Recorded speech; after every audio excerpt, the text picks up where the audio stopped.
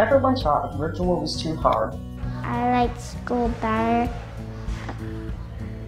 in person. I'm usually a really good student in math, but it was a bit harder because um, I felt like I wasn't focused when I was on the computer. I can't see the whiteboard because it was through a camera. AISD will malfunction, like it wouldn't work. I couldn't go like on Blend where I, the Zoom is.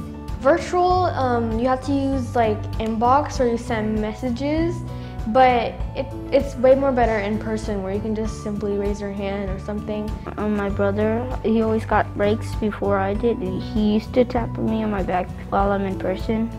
I've, um, I learned better.